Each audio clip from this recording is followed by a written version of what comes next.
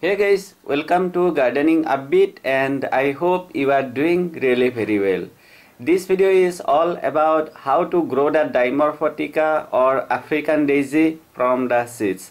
I am going to start the video with sowing the seeds and finally at the end of the video you are going to see lots of flowers. So let's start the video now. Dimorphotheca is really a great winter flowering plant and you can start sowing the seeds from around October end. Before sowing the seeds, please soak the seeds in plain water at least for 12 hours and this is the same thing I did.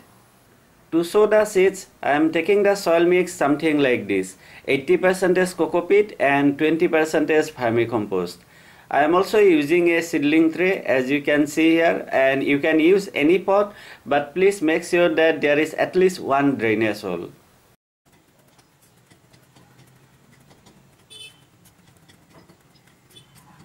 Sprinkling some water before sowing the seeds and next we can sow the seeds.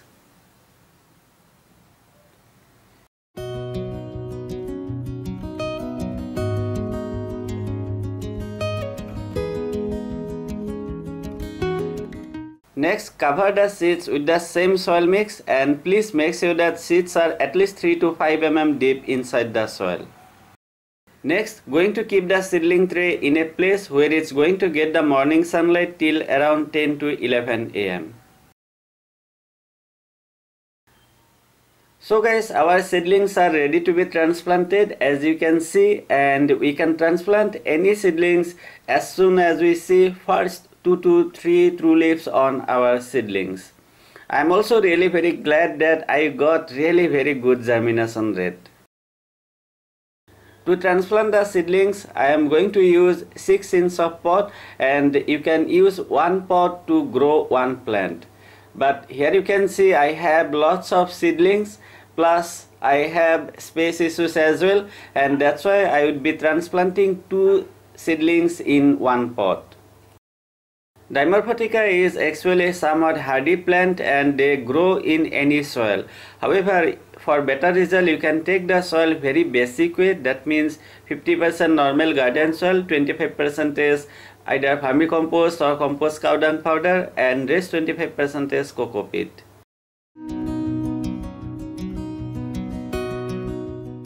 I am done with transplanting as you can see and just after transplanting you can water slightly but I am not going to water it because you can see that soil is looking somewhat wet. Next I am going to keep the pot on terrace and there it's going to get the direct sunlight for the whole day. However, just after transplanting, please keep the pot in bright area for next few days, let's say 2 to 3 days and then only keep your pot under direct sunlight. I am going to provide them whole day of sunlight from tomorrow onwards as they were already getting the sunlight till around 11 am. Here you can see my plants are looking really very bad. The stems are not looking that strong and that's why they are leaning over. So I need to do something and what I am going to do is I am going to bury the main stem and for that I would need to add some soil on the top. Please avoid doing the same thing for most of the plants. But for most of the daisy varieties we can do that. We can bury the main stem and even if we do that it's not going to hurt the plant. To bury the main stem I, I am going to use some soil on the top and going to do it very carefully.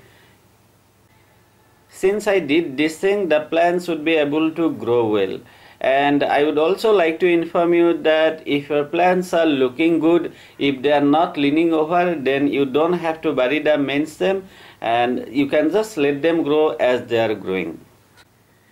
If you like, you can start pinching your plants from this stage onwards and you can pinch them let's say 2 to 3 times and that way you would get a bushier plant. However, I am not going to pinch my plants because I need some taller variety of plants so that I can feed them on the last row.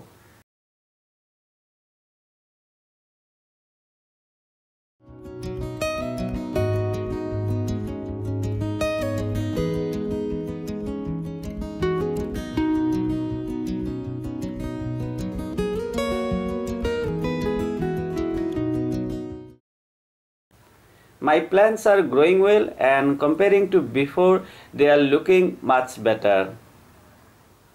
Now let me show you what you can apply as a fertilizers. Basically I am spraying the NPK 19-19-19 once in 15 days. So for that you can take 1 teaspoon of NPK 19-19-19 and then you can also take 1 teaspoon of Epsom salt. Mix both of them in 1 liter water and then spray your plants once in 15 days. If possible, please try to spray on the both surfaces of the leaves. This is the same thing I am doing with my plants and you can start fertilizing your plants after 30 days from transplanting. Let me also give you some other alternatives so that you can fertilize your plants easily.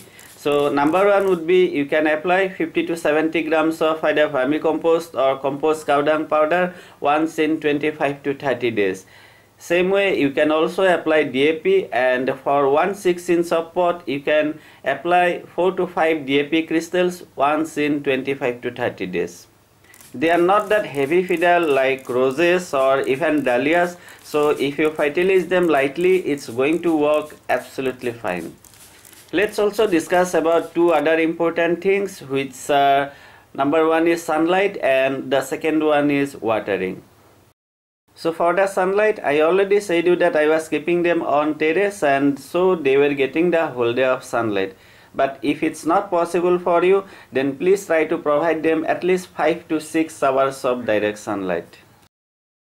For watering, please note that Dimorphotheca needs lots of water, so please keep the soil consistently moist. It's better if you don't let the top soil completely dry out. Alright, we are done with everything and now it's time to enjoy the blooms.